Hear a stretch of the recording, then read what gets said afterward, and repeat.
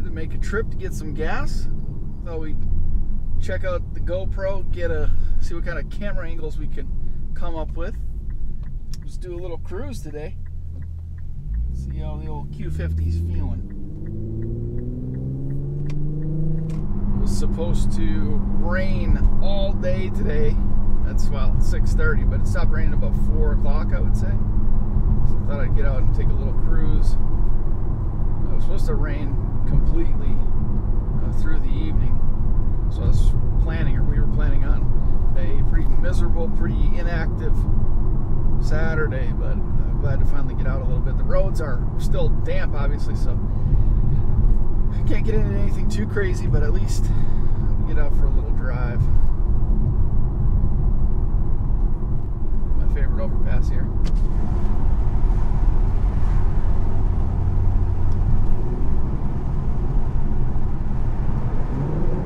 うん。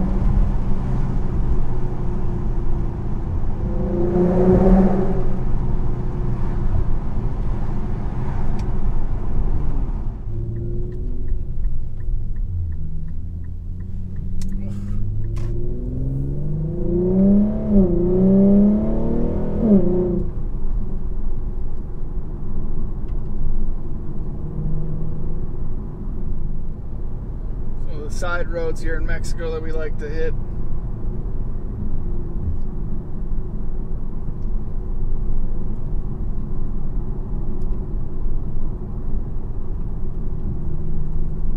Car sounding good today.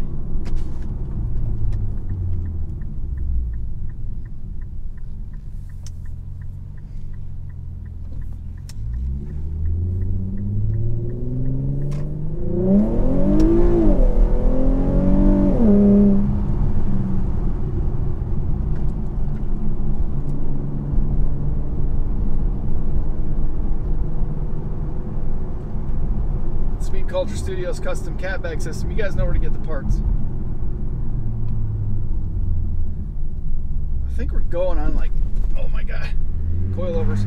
300 people now or so that have it. At least 250, at least 250 people, which is awesome. Never anticipated that to be quite honest. I'd, I'd love to be able to make it a package deal. A lot of you guys are commenting now uh, lately saying that uh, I should you know partner with someone to make it a, a real catback system that can be sold to the masses. Trust me, I would love to do that, but Borla, uh, you know, I take them in every every video clip you guys share with me, but they have no interest in responding. Uh, Flowmaster has acknowledged uh, one person's uh, setup and how it sounded, which was cool. Uh, but you know, they're they're big know, multi-million dollar companies, so they're they're not going to mess around with somebody like me. I'm sure a bunch of them would sell, you know, with their marketing behind it, of course, but you know, they're not uh, they're not interested in just the small guys like like me. So, but nonetheless, you guys keep installing this catback system. Please tag me uh, on Instagram and direct me to YouTube videos if you put clips out there. Uh, the more attention we get on it, the more more of a chance we have at that happening, which would be really sick. But uh, nonetheless, I like to see it anyway, and, and, definitely like to continue sharing it with the community. I mean, the, the it, it, sounds so good. We, I mean, we can't deny it.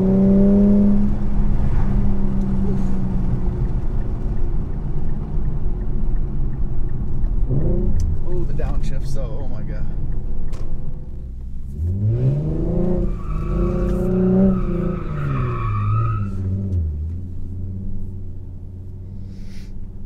So slippery. Really excited to get this thing up to the mountains finally. I wanted to, I thought about going this weekend, but then there was forecasted major rain for the whole weekend, so put the hold on that one. Uh, but coming up here, we gotta we gotta get up there for sure, at least to North Carolina and test those mountains out, um, because this setup is exciting. But what I'm really pumped to do is get out and do some zero to 60 pulls, maybe some eighth mile pulls. I, I want to get to the drag strip too, the eighth mile drag strip outside of Greenville.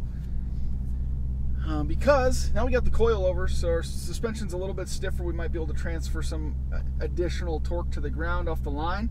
Uh, but we're also working with wheels that are seven pounds lighter each than what I was working with before. And as if you remember, I think we ran a 4 point, 4.86 or something like that, 0 to 60, uh, 4.8 something. Um, and that was with those heavier wheels. Plus the weight we uh, uh, eliminated, uh, getting rid of the factory struts and going with the BC coilovers. So, uh, I mean, we're, we're dealing with a, an entirely different setup now, and I think it's going to perform a lot better, even in a straight line. So, that's one thing I'm excited about. I wish we had a an LSD though because it's open diff.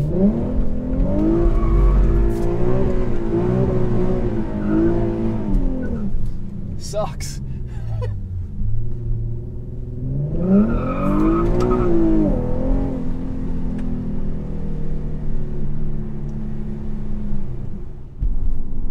I think uh, Caffeine and Octane is next weekend in Atlanta. And then we have Cars and Coffee finally starting up again in Greenville at the Michelin headquarters uh, next month, May, I think May 22nd or May 24th or something like that. Uh, so that's awesome. We haven't had Cars and Coffee since last, geez, winter. I don't know when the last one was. January, February of 2020. Crazy. So finally, uh, getting Cars and Coffee back in Greenville. It sounds like, fingers crossed. Nothing's been confirmed yet, but that's what they're trying to coordinate. If any of you guys are in the area, that weekend next next month in May, come on down to the Michelin facility on Pelham Road, Greenville, South Carolina. There's always hundreds and hundreds of really awesome cars that show up, uh, but the fact that we haven't had a Cars and Coffee for over a year, uh, if the weather is even halfway decent, turnout is going to be incredible. So uh, I know caffeine and octane is a pretty big deal in Atlanta, but Cars and Coffee in Greenville is insane. Well, I'm working on a couple of angles to bring some additional, some new uh, type of content to you guys. Um, in addition to searching for a car, I feel like a broken record. Damn, I, I trust me, I'm looking for another car for the channel. Uh, whether I get the driveway expanded in time or not, doesn't matter. I'm buying a car. I just, I found one I'm interested in. Turns out it's five hours away in North Carolina. Uh, just I'm, I'm not doing that. I mean, if I find a good deal on a car, I'm willing to make a trip a little bit, but you know, one that's questionable, I just I'm not gonna drive five hours for real. And these guys are wanting so much money for like seriously clapped out pieces of crap. I mean, I I love that line. I, I know what I have. I know what the car is worth. Okay, no, you don't. I guess it's worth whatever anybody's willing to pay for it, but they they they list these cars for so much money, eight nine thousand dollars, and then uh, you know three four months later they're still on there and they end up selling them for six thousand bucks.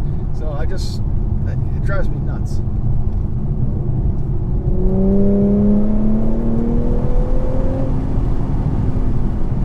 Brakes work good, but the road's wet, so let's be careful here. Traction control off. Oh yeah, feel a little slip, feel a little slip.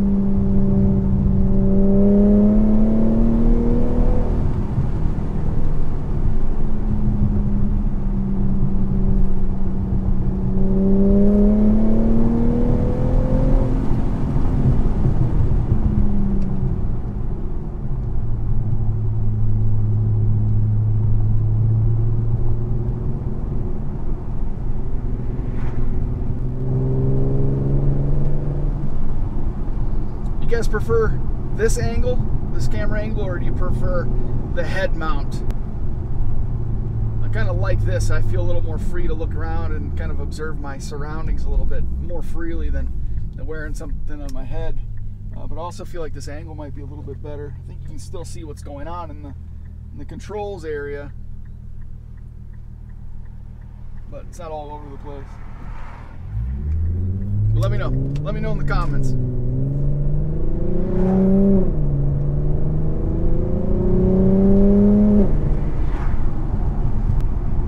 So I talked about a while ago about doing a video that that uh, discussed how to or how I uh, drive spiritedly using the paddle shifters. I guess now is as good a time of any as as any, as long as my GoPro doesn't die here. But one thing that maybe people don't know or don't really think about is that first of all, if you're driving in the canyons or in the mountains, there's not a lot of activity in the paddle shifters, to be quite honest. You, are always wanting to keep your car in its power band, right? So uh, with the VQ37, a naturally aspirated engine, it likes the high revs. You really don't feel that that power, the pull, uh, until you're up over 3,000, 3,500 RPM. So you want to keep the RPM in that range.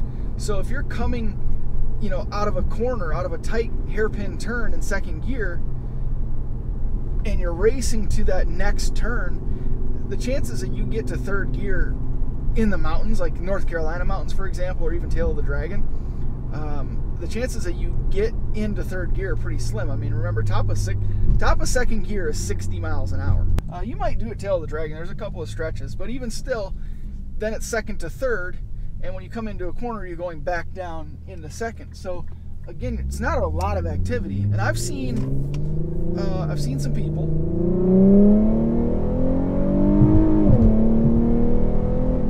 Okay, I just had to. Sorry. Um, I've seen some people on with YouTube videos uh, in the, the Q50 upshift, downshift, upshift, downshift in the mountains, like back and forth, back and forth.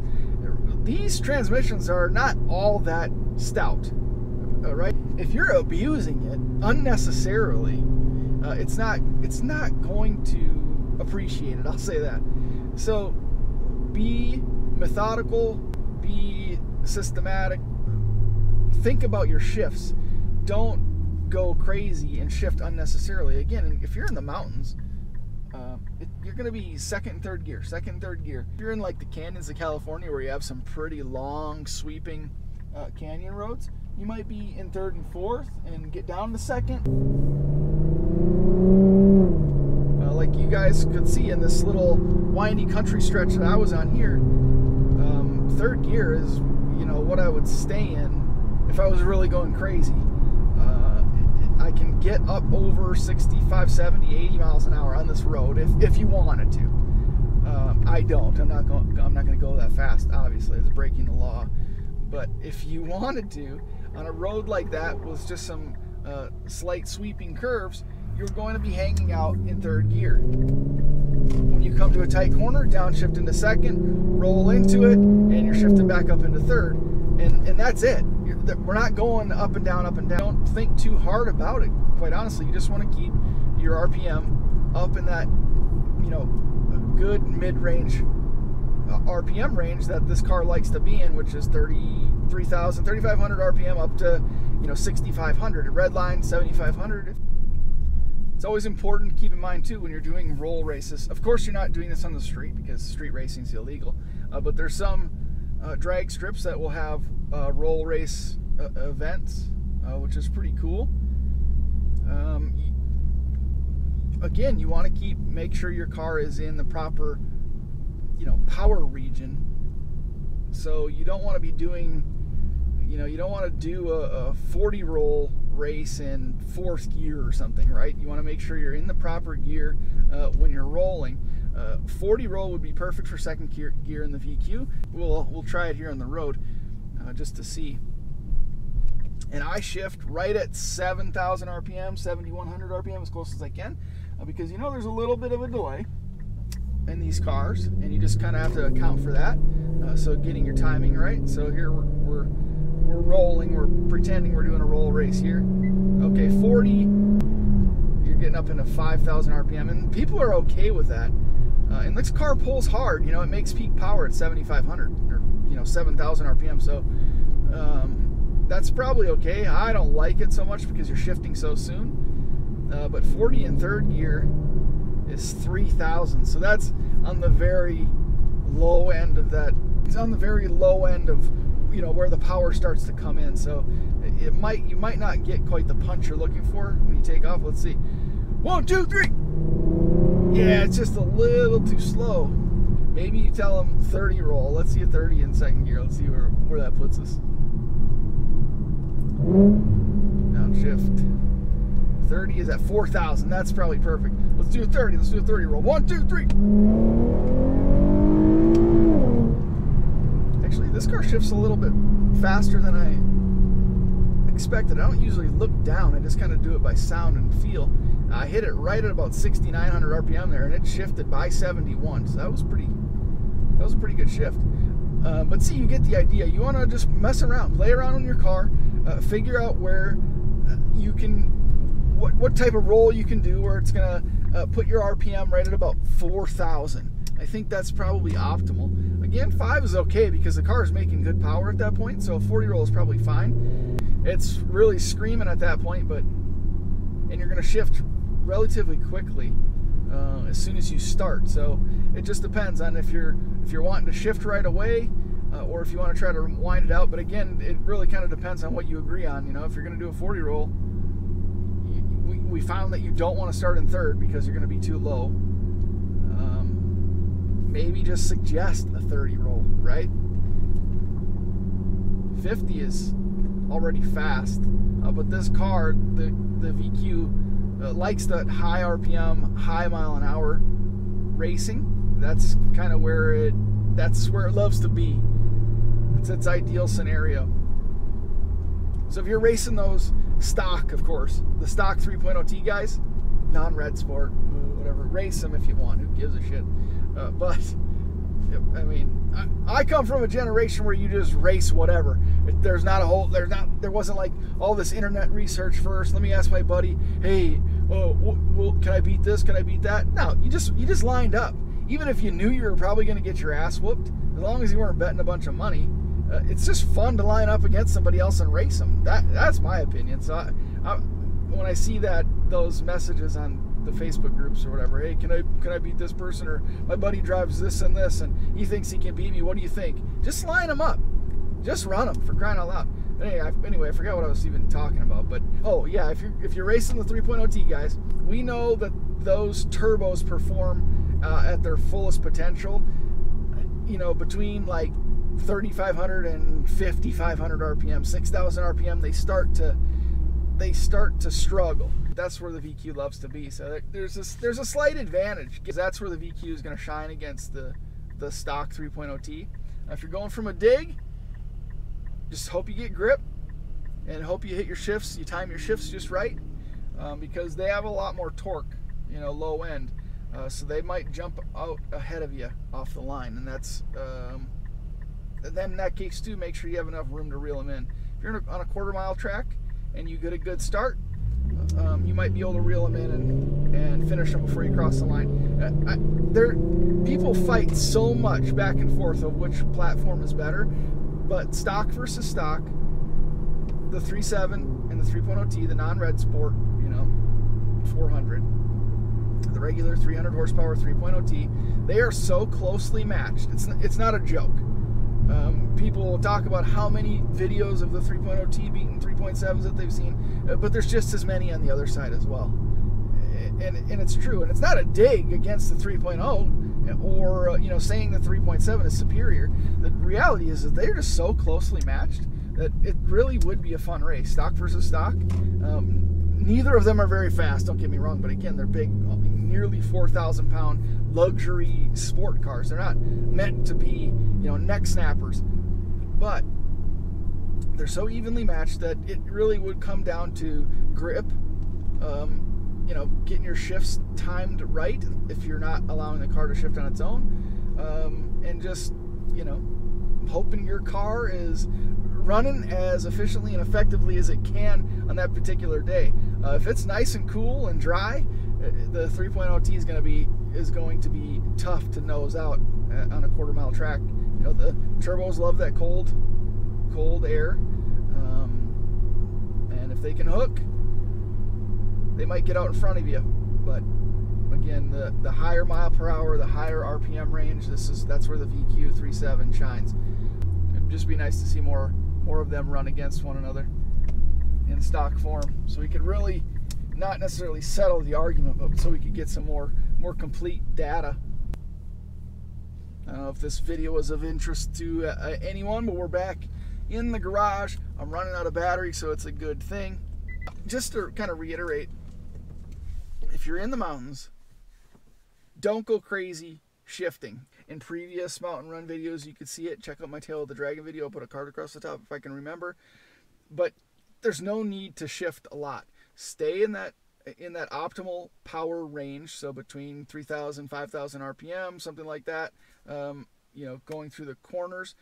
Don't upshift into fourth gear if you're in the mountains because the chances that you're going 100 miles an hour are pretty slim.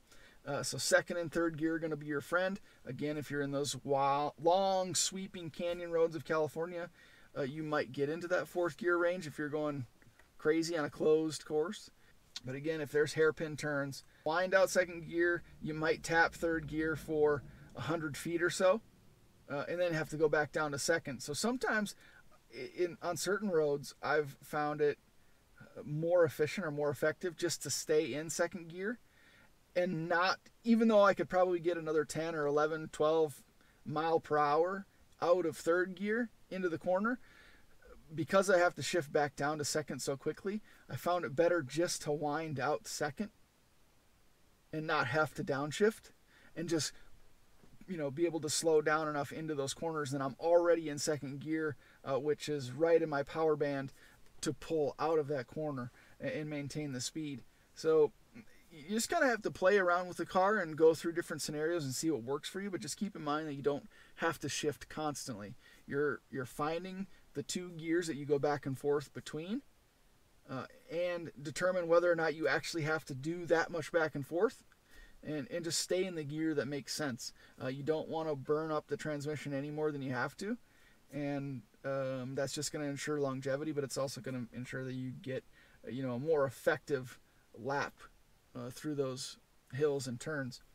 Uh, in straight lines, make sure you time your shift, and that just takes practice if you're using the paddle shifters again, there's a little bit of a delay, and every car has a little bit different delay, but this car doesn't, as you saw, it doesn't really have that much of a delay. It's maybe 200 RPM or something like that. So just again, practice makes better. Um, so if you you know your car makes power all the way to 7500 shift at 7000 7200 just make sure you're not tapping rev limiter because again that's going to kill momentum just play around with the gears um, and look at where the RPM is at and what mile per hour you're at and think about who you're racing. Make sure you do it in Mexico in a closed course, of course. Anyway, thank you guys for watching. I Appreciate the continued support. Uh, we'll see you in the next one.